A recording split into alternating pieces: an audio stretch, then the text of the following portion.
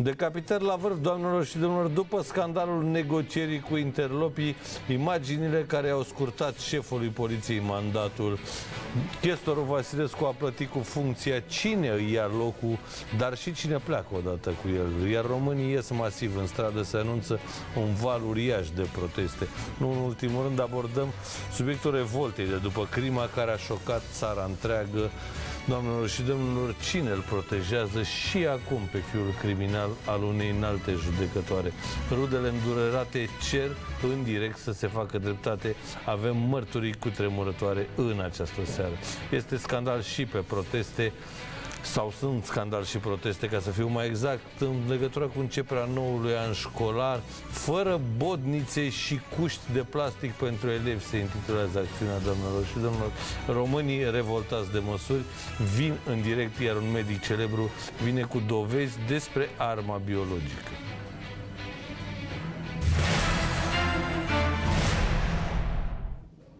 Dacă vă era dor, doamnelor și domnilor, bătaie cu săbi și topoare lângă capitală, două clapuri s-au răfuit și mai mulți oameni răniți au ajuns la spital. Avem imagini în direct. Poliția și jandarmii sunt în aceste momente la fața locului. Avem imagine pe care vi le-am spus în direct. Dana Cuțăr este alături de noi. Bună seara, Dana, de la ce s-au luat micuții? Bun găsit! Se pare că în urma unui conflict mai vechi, cele două familii nu sunt la prima bătaie, ca să spun așa, cu săbi și topoare, tocmai ce vorbeam mai devreme cu cei de acolo și spuneau că au mai intrat peste ei aceeași familie în urmă cu trei luni. Uh, sunt, uh, au fost violenți, s-au bătut uh, fiecare cu ce a nimerit. Dacă familia care a intrat peste cetățenii de etnie romă a venit cu săbi și topoare, ei au folosit ce au avut la îndemână, pietre, cuțite, fiecare a dat cu ce a putut trecut. Cert este că în acest moment avem șase victime la spital. Două persoane au uh, primit îngrijiri medicale la fața locului pentru că a fost solicitată ambulanța și de altfel au fost făcute mai multe apeluri la 112 uh, de către uh, familia agresată, dar și agresori, pentru că victime sunt de ambele părți. Sunt în acest moment mascații la fața locului, așa cum putem vedea în imagini, dar și foarte multă poliție a împânzit uh, zona. Au fost deja persoane duse la audier pentru că unii dintre cei care au participat la această bătaie au fost uh, prinși. Uh, există însă posibilitatea ca să mai fie și alte persoane implicate și se așteaptă, evident, aducerea și acestora la secția de poliție din Popeșile Orden, pentru că acolo urmează să aibă loc uh, audierile. Între timp, alți polițiști s-au dus și la spital pentru victimele care au decis să, să meargă acolo fără să cheme ambulanța, s-au dus pe propriile picioare și au declarat că au fost victime ale bătăii din Glina. Așadar, este o acțiune în forță în acest moment acolo. Conflictul este apladat uh, în acest moment, însă mascații, din informațiile pe care le avem și polițiștii, vor rămâne întreaga noapte la fața locului și asta pentru a nu izbucni un nou conflict. Mulțumesc mult, Dana, domnilor, domnilor, dați-mi voi să prezint invitația și să trecem la treabă, pentru că avem foarte multă în această seară. Avocatul și general de poliție Pavel Abraham, fost șef al poliției Române. Bună seara, domnule general, mulțumesc că Bună seara, mulțumesc pentru invitație. Sociologul Mirel Palada, bună seara Mirele și ție, mulțumesc că ești împreună cu noi. Mulțumesc de invitație, Victor. Avocatul și senatorul liberal Daniel Fenechiu, bună seara domnule avocat. Bună seara. Domnule uh, general, uh, eu credeam că s-au luat de la principii, la glina acolo, dar pare că vine tot în uh, rivalități între familii. Sigur, uh, noi ne-am obișnuit să denumim că avem clanuri, grupări, de regulă, dacă o să faceți o radiografie a evenimentelor pe care le-ați prezentat în anul acesta, o să constatați că sunt niște rivalități mai vechi, conflicte între familii, în general în etnia romă, și sigur cărora poliția încearcă să le facă față împreună cu jandarmeria, eu cred că situația este sub control. Vi se pare, că reușește, vi se pare că reușește poliția să le facă față, domnul general? Vă întreb da, să poate. Da, da, aș vrea să vă spun ceva, dacă îmi permiteți un jumătate de minut. Chiar vă rog, domnule. Uh, vreau să aveți în vedere capacitatea de redare a conflictelor, a situațiilor conflictuale din societatea românească a crescut printr-o supradimensionare a uh, uh, surselor media îndeoseb de televiziune, care într-adevăr au văzut că se poate face un rating din aceste chestiuni, unii cu obiectivitate, cum face și dumneavoastră, prezintă situațiile de fapt, Domn... Și sigur, rom- românul de rând crede că în permanență se întâmplă ceva deosebit. Nu. Domnul Eu pot să general, vă cu toată mărturisesc că în dragostea, România, uh, acest iertați-mă, lucru există de 30 de 50 de ani. de acord cu Dar nu dumneavoastră, era dar mediatizat. fără să fiu eu avocatul Breslei, pentru că n-are nevoie Bresla de serviciile avocatului Ciutacu, Sigur, este iertați, puternică. iertați-mă, dacă ăștia nu s-ar tăia între ei, eu n-aș avea ce să comentez în seara asta cu dumneavoastră, Absolut. sau am avea cu Dar- totuși cu totul alt subiect. Dar eu vreau să vă spun că în, în România, în care se produc de 50 de ani în medie Da. 2000 de crime, omoruri, pur și simplu. Nu mai vorbesc de oviri cauzatoare de moarte, 2000 de accidente de circulație. Deci în fiecare zi putem prezenta 10 asemenea situații care au istoria lor și actorilor. Iar acum criza a făcut ca o parte a romilor care au plecat în străinătate să revină în țară, n-au resurse, sigur apar discuțiile pe chestiuni mai noi sau mai vechi, recurg la violență, iar poliția face cu greu față, aveți dreptate, dar face față și există metode și tehnici care a- au fost folosite de, de la existența poliției și până astăzi. Vă dau un exemplu. Vă rog. Vreau să felicit pe șeful poliției române că a avut demnitatea să-și dea demisia F. și a prezentat niște realități. Ajungem la Și- subiectul ăsta imediat, domnule general, Atunci și nu fiindcă, uite. fiindcă tot l-ați Dar- pomenit, O, inevitabilul o s-a virgulă să întâmplat. mai pun. Păi da, puneți virgula Ui. după ce dau materialul aferent, domnule general, acord. pentru că exact despre De acord. domnul Vasilescu și despre decapitarea poliției române discutăm în De acord. aceste momente. Inevitabilul s-a produs, doamnelor și domnilor. Haideți să vedem și de ce.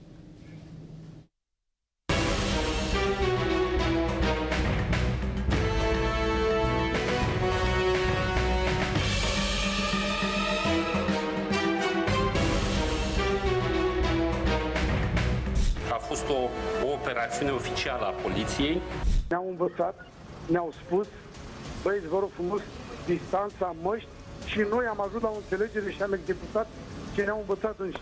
Nu s-a negociat nici aplicarea legii, ci s-au impus măsuri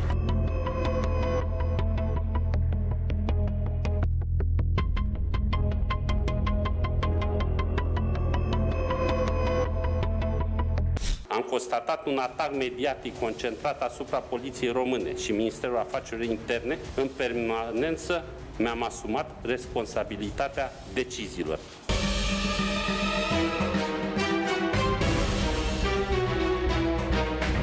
Mă retrag din funcția de inspector general al Poliției Române.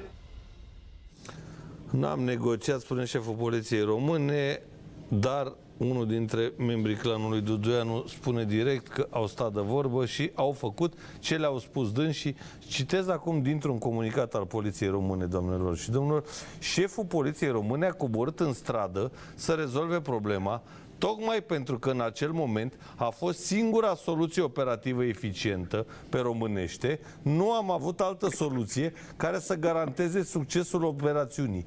Trist, dar adevărat, în mod concret, chestorul Vasilescu era în concediu timp de 5 zile, a fost rechemat urgent și a rezolvat problema în 5 ore și oricum șeful poliției nu era la prima lui excursie în teren, citesc cu ghilimele, de la preluarea mandatului. În concluzie, chestorul Vasilescu a fost singurul considerat ca având experiența necesară de a coordona operativ. Domnule Abraham, pe mine m-a îngrozit da. povestea asta, adică poliția română stă într-un singur ofițer, dacă domnului Vasilescu îi trece în cap să iasă la pensie sau domne forește să îmbolnăvește.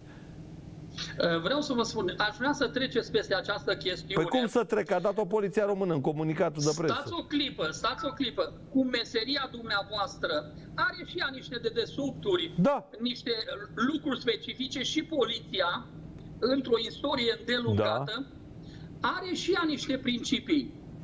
Uh, și studiază modul în care se desfășoară anumite activități. Domnul Eu general. voi merge cu efectul ce se întâmpla dacă a doua zi, la ora 13, pentru 5 mici, 500, 800, 1000 de oameni amărâți Stați. mergeau să participe Domnul la... general, stați că vorbim despre lucruri și diferite. foloseam gaze lacrimogene, foloseam De acord, de apă. la Intram mine în bateți la, istoria uși, la mine bateți la uși deschise. Eu sunt unul Păi să dintre vă spun atunci. susținătorii Deci, ideii practic, potrivit căreia practic, să poate sta de vorbă, A chiar fost cu lumea. un joc operativ. Da, domnul general, pe mine altceva mă șochează. Cum poți să spui Ce tu anume? poliție română că există un singur ofițer pe nume Nu, Vasilescu nu, nu, nu. Capabil N-a să... spus nimeni asta. Vreți să vă citez încă o dată din comunicat? Da, eu- dacă a Singurul fost o ofițer greșeală capabil să fundamentală, rezolve. Este de comunicare. Poate trebuia să vă angajeze pe dumneavoastră să-i consiliați la comunicare. Nu, Că dacă mulțumesc, mă ați plătește avut suficient de prima bine zi- postul ăsta ca să... Și nu m-am hotărât Nu să știu, devin. eu Am Iertați-mă. dat un exemplu și îmi cer scuze dacă Nu, vă nu e simt, nicio uh, problemă, nu. Inconfortabil. Nu, da, iertați-mă, Eu vreau este să vă spun un lucru. năucitor. Să...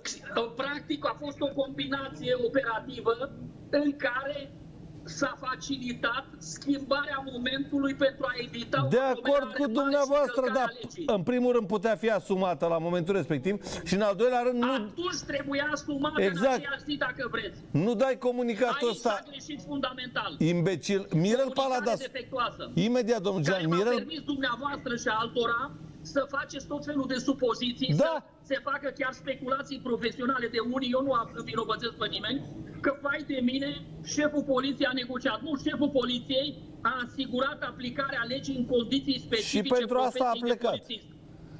Ce anume? Și pentru asta a plecat în funcție, domnule general. Da, a plecat și eu vreau să mai spun un lucru. Spre exemplu, din experiența personală, în 1997, la Valea Călugărească s-a blocat linia ferată spre Moldova. Mai multe ore, ministrul de atunci, un om fără experiență, domnul Dejeu, Da.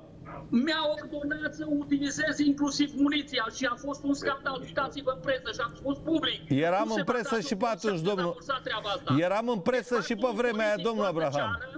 Dar poliția Vrem dreptate! Vrem dreptate! Vrem dreptate! Vrem dreptate!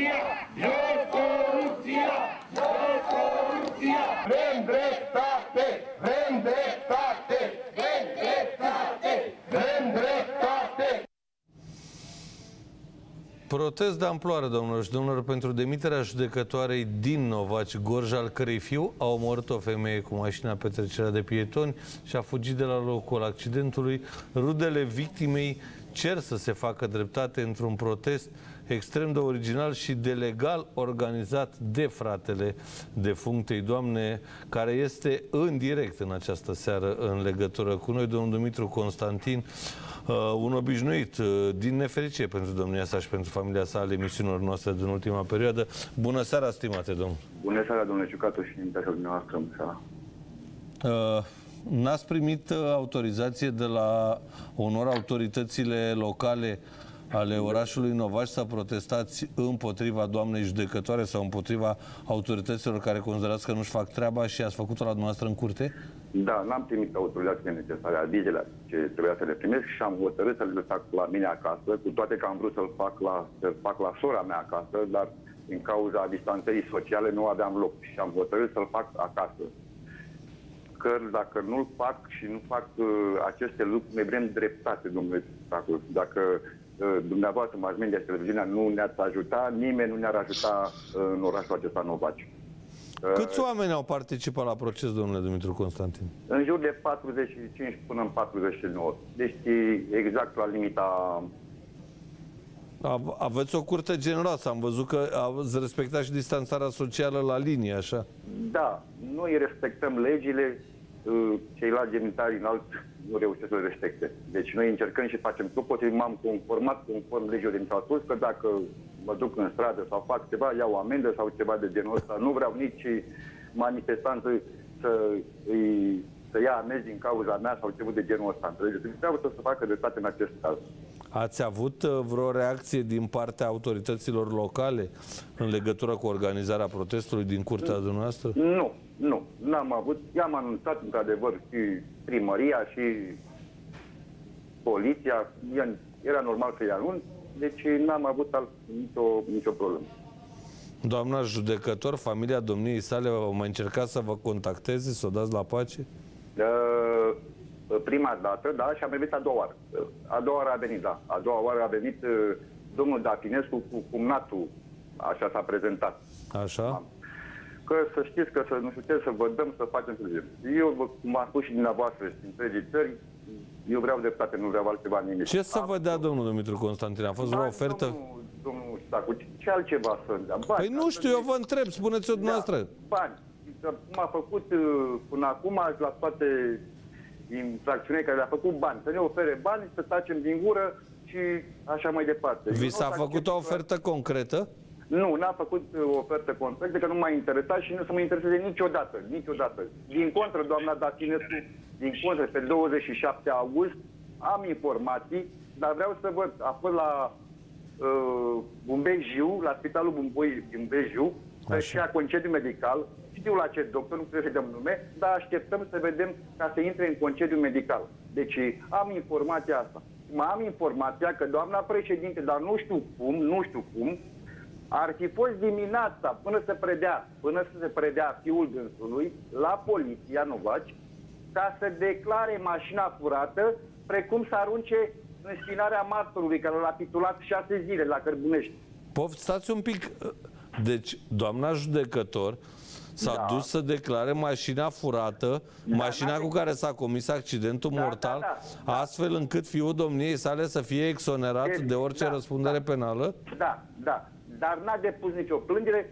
A fost acolo, știu că a fost acolo, n-a depus plângere la poliție după ceea ce s-a făcut, ce s-a... Adică nu l-a mai depus-o. De asta l-a ținut pe, pe martor șase zile. Au vrut să-i arunce dânsul în spinare, înțelegeți?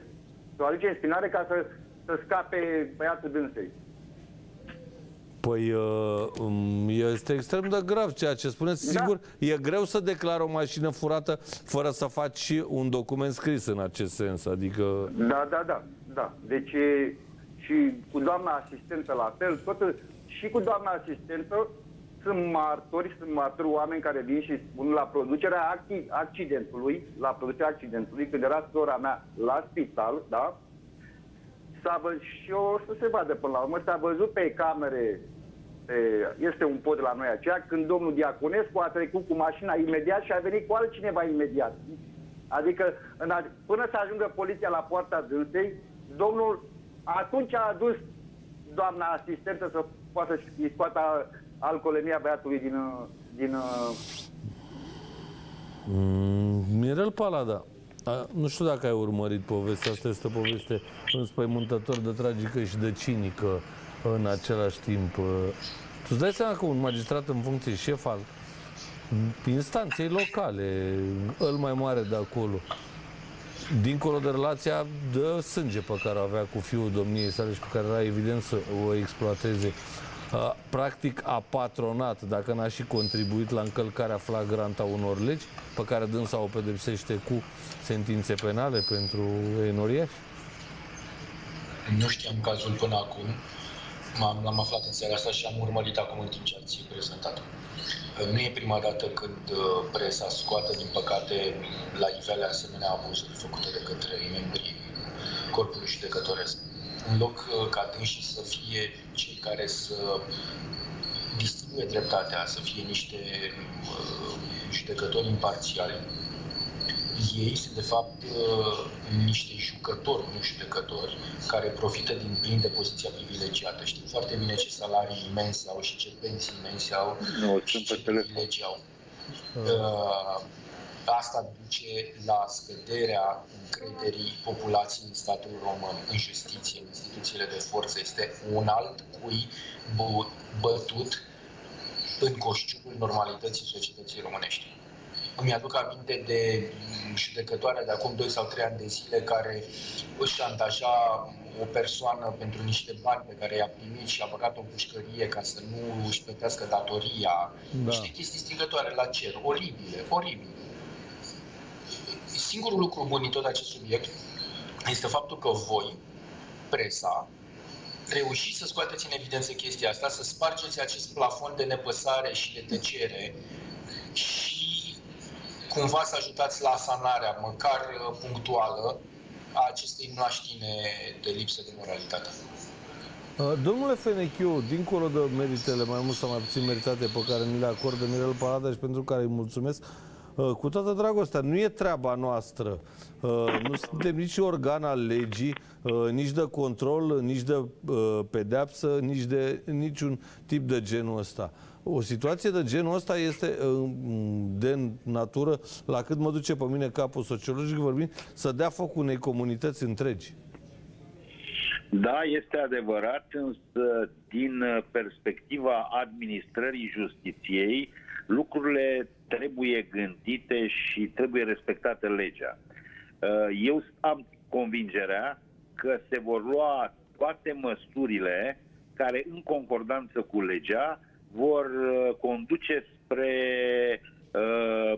spre o soluție care mai curând sau mai târziu va fi o soluție care va satisface orice persoană care apreciază soluțiile echilibrate și respectarea legii. Uh, domnule uh, Fenechiu, total de acord cu noastră, dar cu un amendament.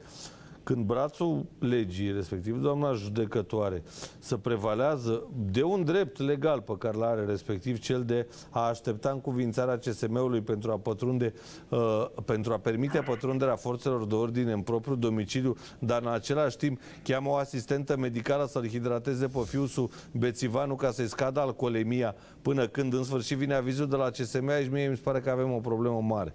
Avem cu siguranță o problemă mare, pentru că ideea avizului CSM vizează de principiu, de principiu nimic altceva decât asigurarea independenței magistratului.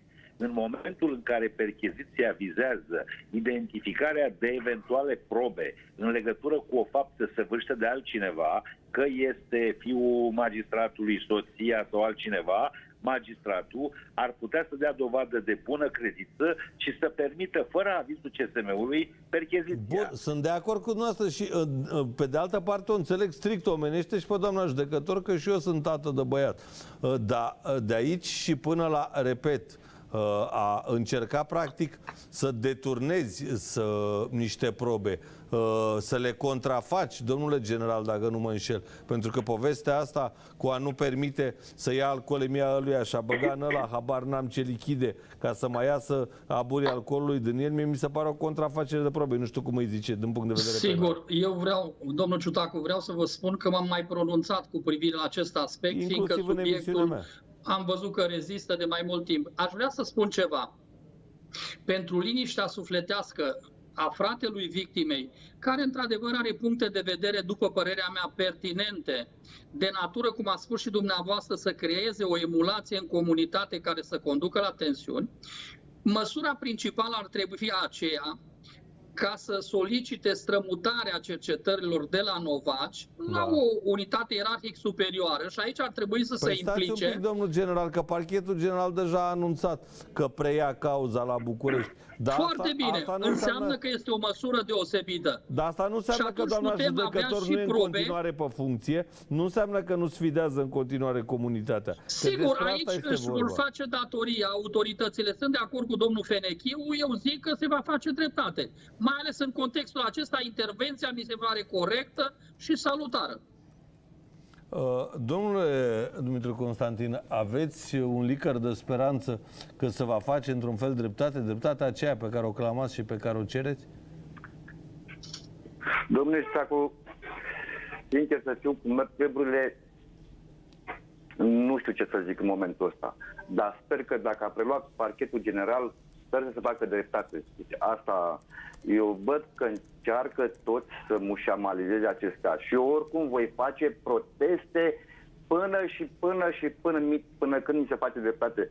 Și mie și copilului acestea și pentru toate ce s-a întâmplat. Deci altfel nu, nu, nu văd cum să oprim această...